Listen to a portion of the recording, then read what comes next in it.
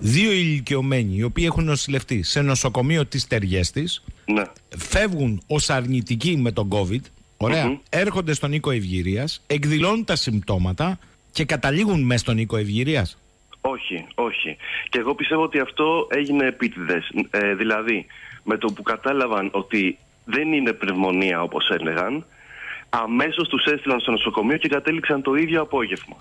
Δηλαδή, για να μην βγει το όνομα του οίκου Ευγυρία Μμμ. στις εφημερίδες κτλ., Μάλιστα. Ε, τους έδιωξαν έτσι ώστε να καταγραφεί ο θάνατος σε άλλο μέρος. Στα νοσοκομεία. Κραυγή αγωνίας από το Χρήστο, τον Έλληνα φυσιοθεραπευτή που εργάζεται σε οίκο ευγυρίας στην Τεργέστη της Ιταλίας και μίλησε στον 984 και τον Γιώργο Σαχίνη. Παρά την εμφάνιση κρουσμάτων κορονοϊού και τους θανάτους ηλικιωμένων, η εργοδοσία του οίκου, δημιουργώντας μια εργασιακή βόμβα αντί για καραντίνα και τεστ, τους υποχρέωσε να εργάζονται κανονικά, χωρίς αυτοαπομόνωση, προκειμένου να μην χαθούν οι πολύ υψηλές επιδοτήσεις από το κράτος. Ζητήσατε να γίνουν τεστ σε όλους και σας το αρνήθηκαν. Ακριβώς. Α είπε ότι εγώ, παιδιά, δεν σας υπογράφω, γιατί αν σας υπογράψω, σημαίνει ότι θα κάνετε το τεστ, θα βγείτε θετικοί και θα σας κλείσουν όλους καραντίνα και θα μείνει ο οίκος ευγυρίας χωρίς προσωπικό. Επιδοτούνται καλά. Και Α, εμείς μάλιστα. εμείς ουσιαστικά που δουλεύουμε, που δουλεύουμε εκεί δεν είμαστε με συμβόλαιο. Επι, ε, εμείς πληρωνόμαστε από το κράτος μέσω του οίκου ε,